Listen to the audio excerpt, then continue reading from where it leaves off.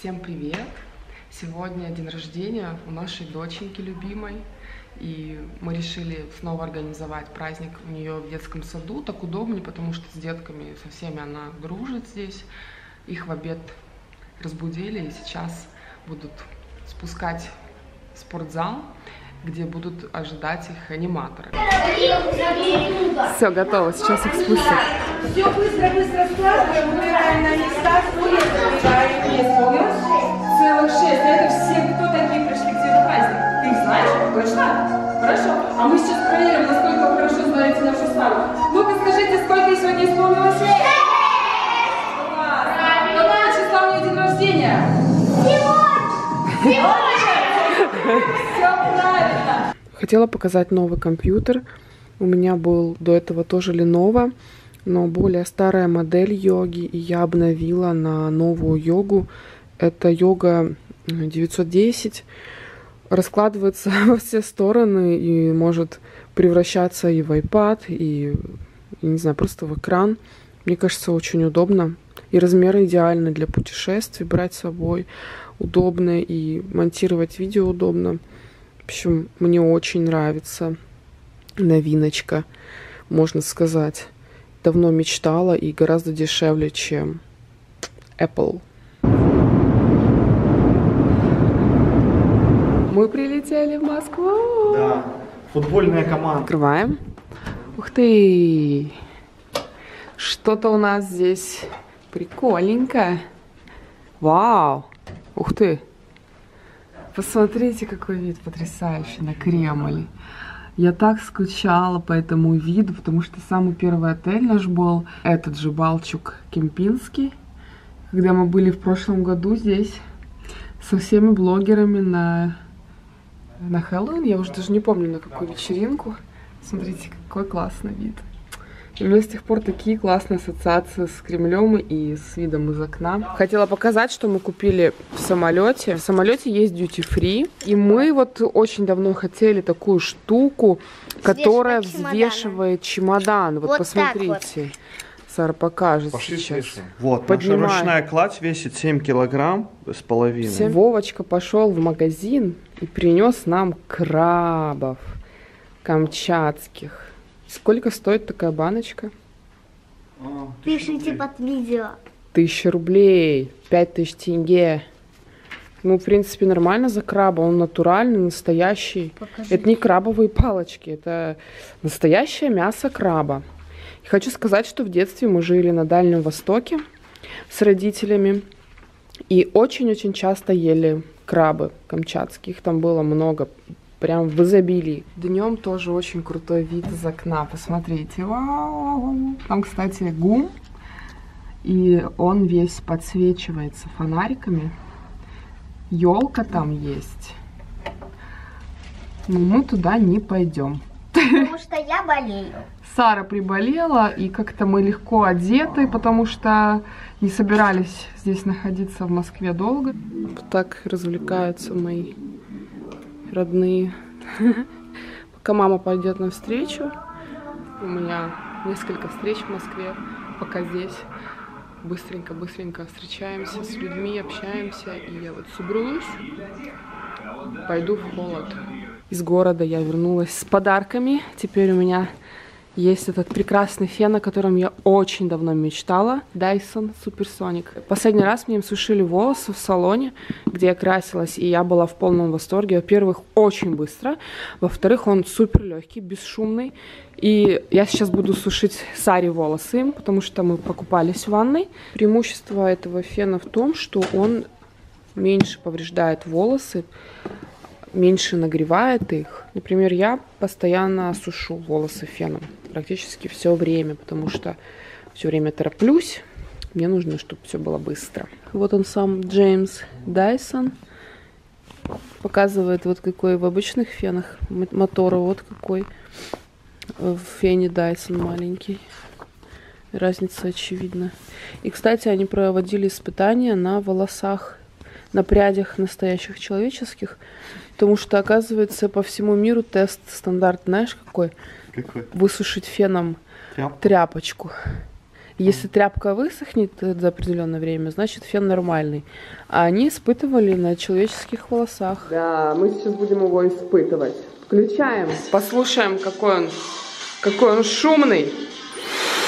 О! Прикольно. Регулируется он еще по температуре и по мощности. О, видите? Класс. Здесь холодный режим. В принципе, знаете, никуда и не ходили в Москве, все время в отеле, да в отеле, потому что одежды теплой нет. А здесь выпал снег. Я вчера просто поехала на съемки на часов 5 и вернулась обратно в отель, уставшая, там даже ничего для вас не сняла. И теперь как бы утро следующего дня. Нам сейчас идти на завтрак, и за нами такси приедет где-то в 11, мы улетаем в Америку, как я вам и рассказывала. Лететь примерно 9 часов, и буду снимать вам влог уже оттуда, скорее всего. Так что время пролетело быстро, вещи все собрали. Я распродала очень много вещей своих. Спасибо всем, кто купил или кто адекватно отнесся, если честно, я недорого продавала. И, да, не все адекватно восприняли информацию о том, что я распродаю там вещи свои, потому что мне жалко их бросить, жалко их просто здесь оставить. А, и тем более, как бы, деньги никогда лишними не бывают. В Европе вообще, как бы, эта практика распространена, и в Америке, потому что многие из вас привыкли, что мы дарим блогеры, а тут вдруг Женя продает, но э, я дарю тоже, и иногда можно и что-то продать. И я думаю, что все эти деньги пойдут на новую камеру, на объектив, потому что это все вообще не дешево стоит, поверьте мне. В общем, пока в Москве быстро заказала себе духи сайта духи.рф, хотя у них появились появилась доставка в Казахстан. Я очень хотела вам об этом сказать, если вы не знаете, где купить хорошие духи, оригинал, то есть все вот эти селективные, премиум класс, то, то заказывайте, заказывайте на сайте Духи РФ. Я уже не первый год заказываю, и многие из нас заказывают их отличный выбор и цены намного дешевле, гораздо дешевле. Еще хотела показать упаковку. Она очень крутая. Я так так как я знаю, как упаковывать коробки, то могу вам смело сказать, что это самая лучшая упаковка, которая может быть. Ну, здесь ничего не побьется, не, не сломается. Я заказала себе Монталь Рос Эликсир, молекула, очень хотела попробовать духи Диарисима от Dior. Это классика с детства. Помню, мои первые духи были именно Dior Диарисима. Мне дарил их папа когда-то. И запах просто сногсшибающий. И также они мне подарили пробнички. Вот, ароматы носибельные и очень популярные. Давно их хотела. Буду пробовать, особенно хотела очень попробовать духи Молекула и потом с вами поделюсь обязательно. Сейчас мы находимся в аэропорту Шереметьево в бизнес-зале MasterCard. И я вам могу смело сказать, это лучший зал ожидания, в котором я была. И зашли мы не по моей Priority Pass, а по Вовиной карте MasterCard.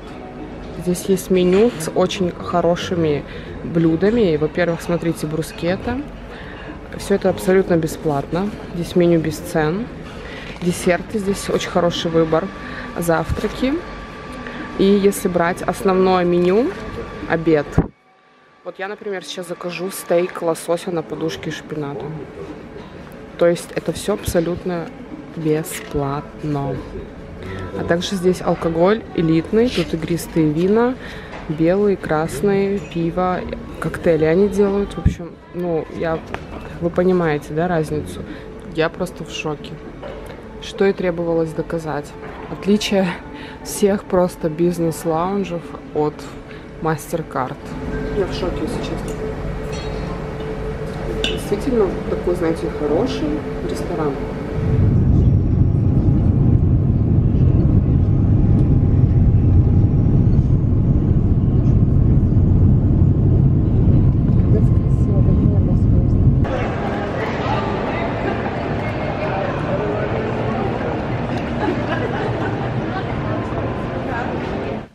Прилетели вчера в Нью-Йорк, и у нас снова начались головнички на паспортном контроле. Перечеркнутая карточка моя была черным.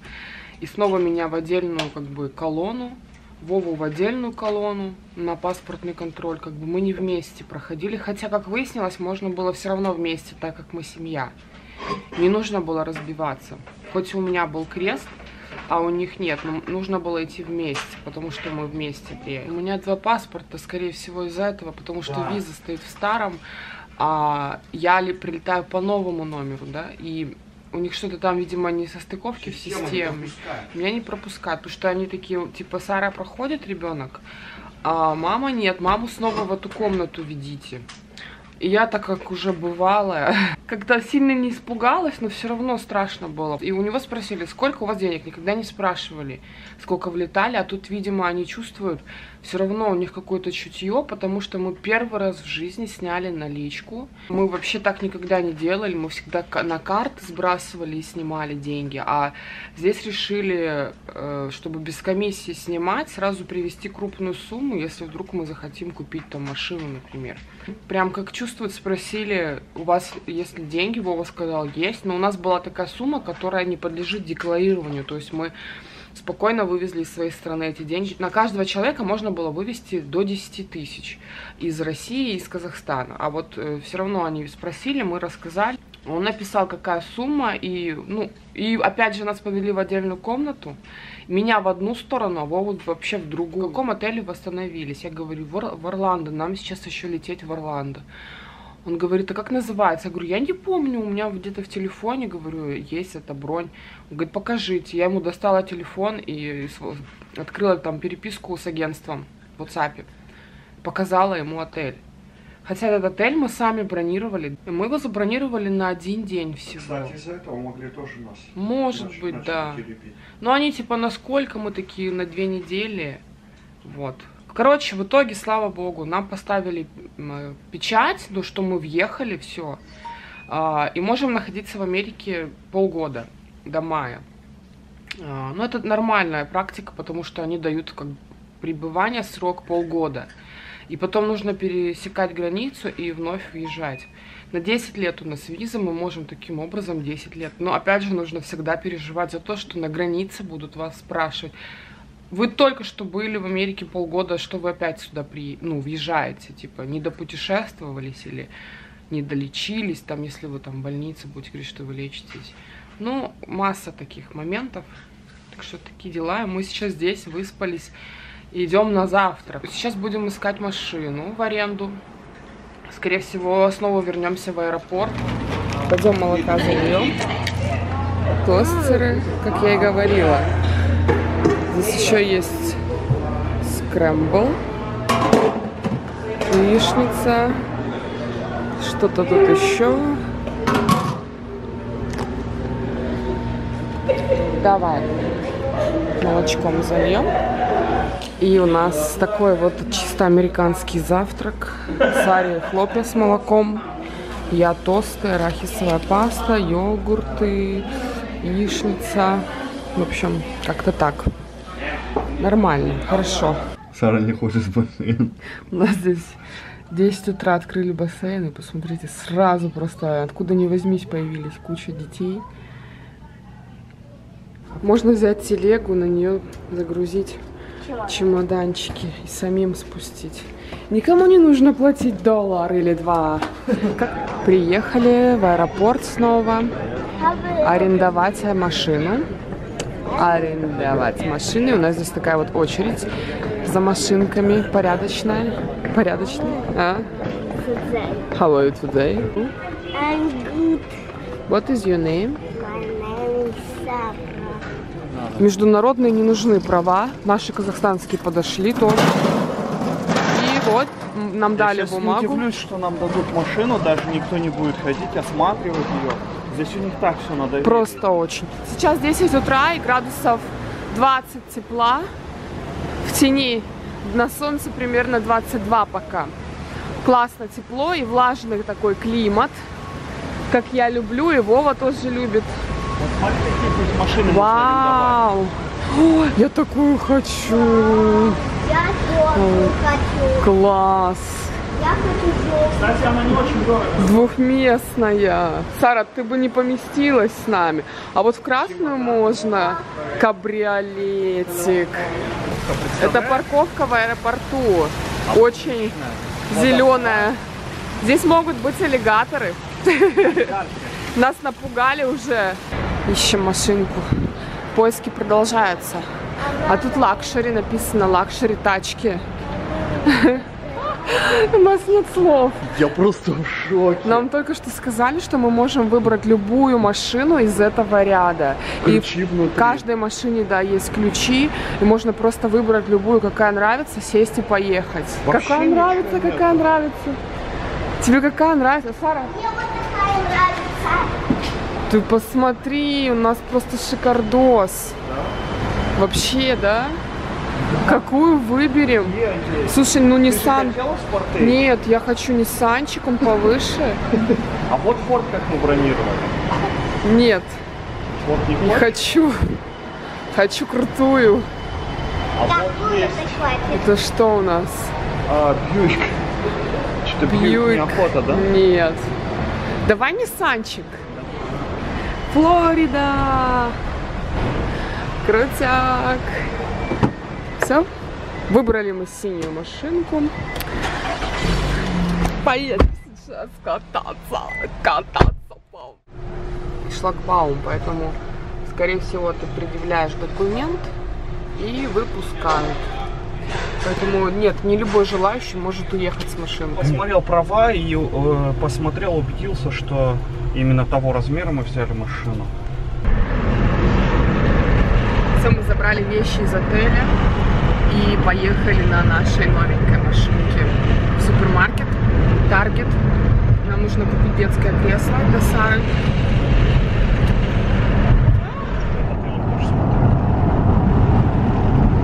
Они снаружи такие прикольные. Мы заехали в Таргет и будем сейчас искать детское кресло, а также что-то может покушать. Посмотрим. А, а, а если там будет детская тележка, можно я возьму? Угу. Смотрите, какой кайф в магазине. Я не могу. Вот это елки. Очень красивые елки. Да, очень красиво. А игрушки, смотри, какие. Супер. Полез Санта-Клаус развешивать гирлянды на елку. Ой, ты какая милота. Я не могу. Так еще лестница увеличивается. Нет, Нет? не Вот такая была? Как щас. мило. Слезет или спрыгнет? Он, он на елку прыгнет.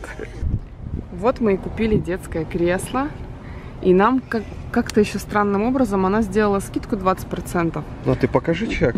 Плюс она э, Купон какой-то провела. купон провела свой, 20% сделала скидку. Во-первых, мы купили его и так недорого. Это кресло 18 долларов стоит.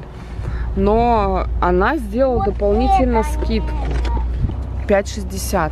Вот, стоило 18. Категория купон. Потом она пикнула купон, э, почти 4 доллара скидка. Странно, да? Дечку ставить. Капал. Прям уже поставила воду себе, такая деловая девчонка.